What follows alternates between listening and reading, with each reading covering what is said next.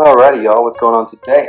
So today I wanted to talk to you guys about the Apple Trackpad 2, Apple Magic Trackpad 2, excuse me. So this is, yeah, like I said, it's the second iteration of the Apple Magic Trackpad. I never had the first one, but I heard they did uh, quite a few upgrades on this one, and I, you know, I, I can't do necessarily a comparison between the two, but what I can say is I really, really do enjoy this, especially for my using it for my iMac. Obviously, you have like a MacBook, you're not going to need need one of these because you have that built in, but it's nice. It kind of gives you the same feeling. It's very, very flexible. It's nice to not have to move a mouse around on my wooden desk, which, you know, can just get a bit annoying after a while. So having something like this is very, very helpful. And yeah, it's just great. talk about the look of it really quick. So first of all, it looks super sleek. You have this white top, very, very nice and glossy, very smooth finish, very reminiscent of just, you know, all like Mac products. And, you know, it just looks really great. I mean, the thing is sleek, super sleek overall. One thing that I do really dig about it is that it does have a an angled design to it, so you do move up as you move, which is great.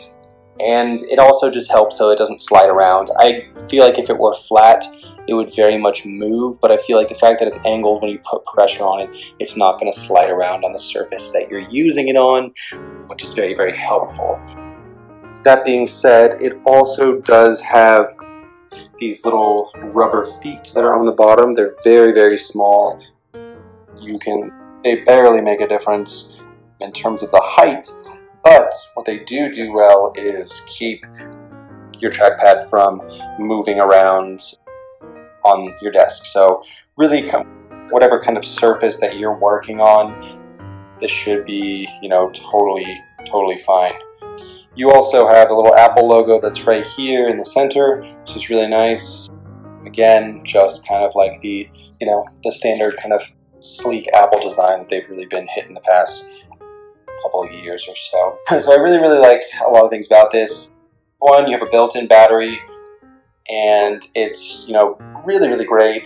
It lasts a very, very long time. You know, I probably have to charge it, I would say maybe every month or so. Battery lasts, uh, again, like a very, very long time. And it's similar to kind of, I guess, the mouse that I was using before, the regular mouse that I had. So in, in terms of the length of time that you can use it, it's very much like that. It is Bluetooth enabled as well, so you can connect it up to your MacBook through uh, Bluetooth. Also, it is connectable. I mean, obviously you have this for charging right here. It's a regular kind of USB, I can't remember what they call it, the, the like iPhone chargers basically. You can plug that in. You can either plug it into your MacBook to use it like that, or use that to actually charge it. You have the lock right here. It's going to lock it, keep it from going. The one thing that I really dig about this, it's very sensitive to like uh, pressure, which is cool.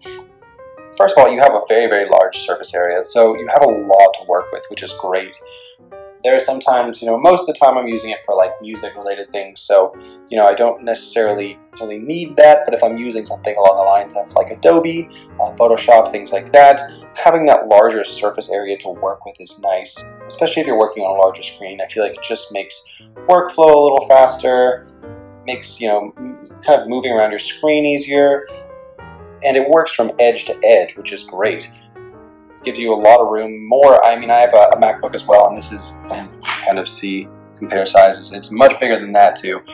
So you have quite a bit of room to work with here. It also, like I said, ch it changes, it has different functions based on how much pressure you actually put on it.